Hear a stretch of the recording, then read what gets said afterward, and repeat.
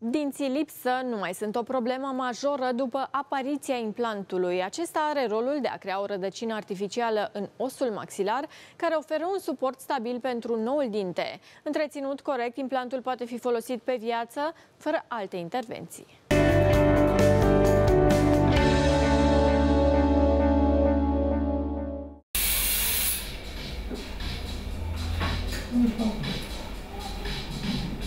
Un implant dentar este un dispozitiv folosit pentru înlocuirea unuia sau a mai multor dinți lipsă. Este o procedură non-invazivă de actualitate și care înlocuiește metodele tradiționale, inclusiv protezele mobile atât de incomode uneori pentru pacient. Realitatea e că și, și acum pacienții, unii, nu, nu toți, au puțin trac și frică înainte de de a lua decizia să-i aplicăm un implant. De fapt, orice manoperă stomatologică vine cu, cu puțin trac. Normal, nu ar trebui să fie niciun stres, este o, o manoperă minim-invazivă, o anestezie locală, aceeași anestezie care o dai și pentru o, o simplă obturație.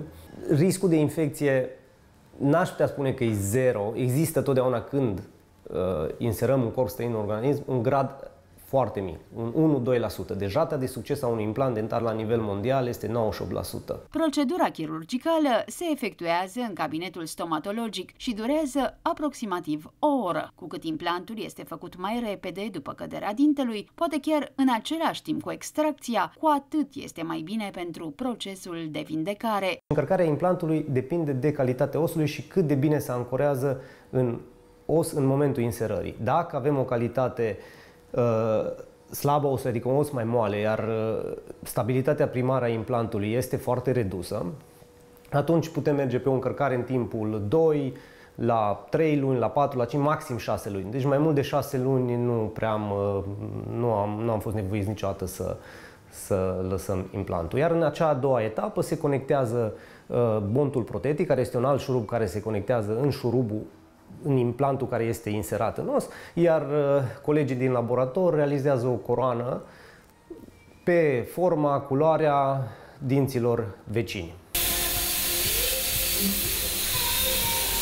Am avut un pic de lumină sunt și situații când osul nu mai poate fi salvat, mai ales dacă la rădăcina dintelui există și o infecție. Atunci medicul stomatolog aplică alte proceduri și încearcă să salveze cât mai mult din țesut. Putem folosi materiale de augmentare osoasă de origine animală sau uh, sintetic și să, să, să reușim să menținem uh, osul la un nivel cât mai bun, iar după câteva luni să, să aplicăm implantul. Depinde în ce situație ajunge pacientul. Din păcate, de cele mai multe ori, pacienții ajung târziu, la 5, 10, 15 ani de la extracția dintelui, iar uh, dacă vin atât de târziu, procedura poate să fie puțin mai laborioasă, să fim nevoiți să adăugăm os înainte de inserarea implantului, pentru că creasta se rezorbe în timp. Practic, implanturile elimină necesitatea sacrificării dinților învecinați. În plus, beneficiile estetice și funcționale sunt resimțite din primul moment, spun specialiștii. Spre deosebire de variantele clasice de înlocuire a unui, unui dinte lipsă sau mai mult, oricum ar fi o punte dentară, uh, prin aplicarea implantului, avantajul major care îl, îl avem e că nu ne atingem de dinții vecini dintelui lipsă. În uh, variantele care se realizează și acum, dar care se foloseau în anii trecuți, uh, punțile dentare, de exemplu, ce, ce trebuia să facă medicul? Practic, trebuia să reducă din uh, volumul dintelui adiacent, adică să îndepărteze smalțul. De foarte multe ori, uh, îndepărtând smalțul, apropiindu-se de pulpa dentară, trebuia și devitalizat dintele respectiv. Deci, practic, te atingeai de un dinte uh, integru ca să te sprijini și să-l, uh, să-l pui pe cel lipsă.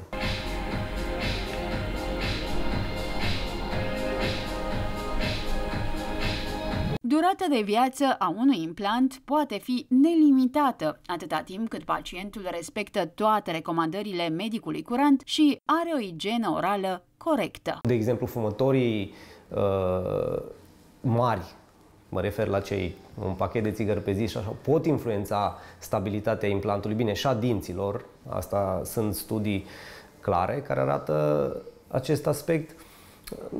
ocluzia, mușcătura, să fie o ocluzie stabilă, mă refer în genul de cazuri în care inserăm un implant în lipsa unui dinte, iar pacientul ulterior mai pierde un număr de dinți, dar nu revine să-și uh, insere implanturi și pentru ceilalți dinți lipsă și atunci implantul inițial poate fi supra-solicitat. Este un exemplu. Deci, dacă pacientul respectă toate indicațiile care îi le, îi le dăm, implantul poate să fie pe un termen foarte lung, chiar pe viață. Singurul dezavantaj al implantului este în cazul pacienților cu diabet, care trebuie mai întâi să se asigure că nivelul glicemiei este unul relativ stabil. De asemenea, nu este indicat implantul în timpul tratamentelor oncologice prin chimio sau radioterapie.